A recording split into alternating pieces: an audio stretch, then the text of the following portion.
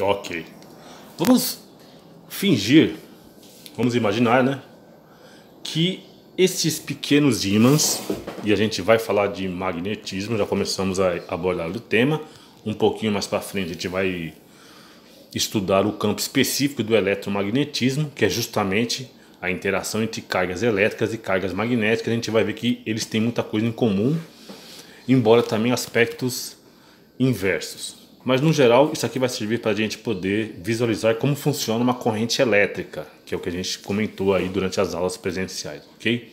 Então temos aqui, vamos fingir que isso aqui seja um elétron, certo? E eu disse pra, e foi falado para vocês em sala de aula, comentei com vocês que toda corrente elétrica é formada pela migração de uma certa quantidade e potência elétrica que nada mais é que um movimento dos elétrons numa direção específica.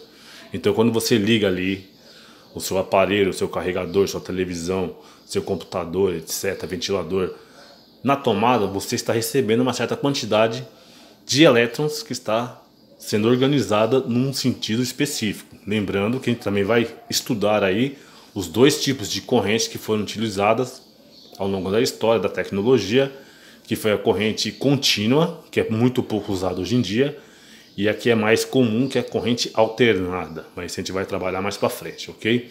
Então, digamos que um átomo, um, o átomo da matéria, ele vai perder uma certa quantidade de elétrons, por isso que a gente vai ter elementos mais ou menos condutores, no geral, no geral vão ser os metais, que tem mais facilidade de perder elétrons na sua camada externa.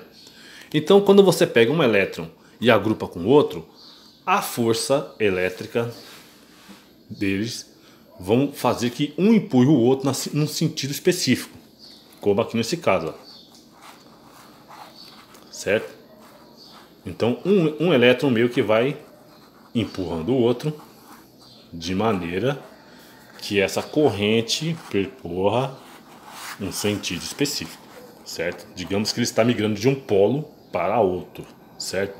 O que acontece se eu inverter o polo? Ou se a corrente entrar em contato com outro polo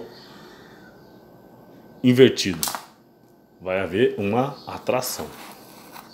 Certo? E quanto mais corrente no sentido contrário, maior vai ser a variação desse uh, sentido da corrente.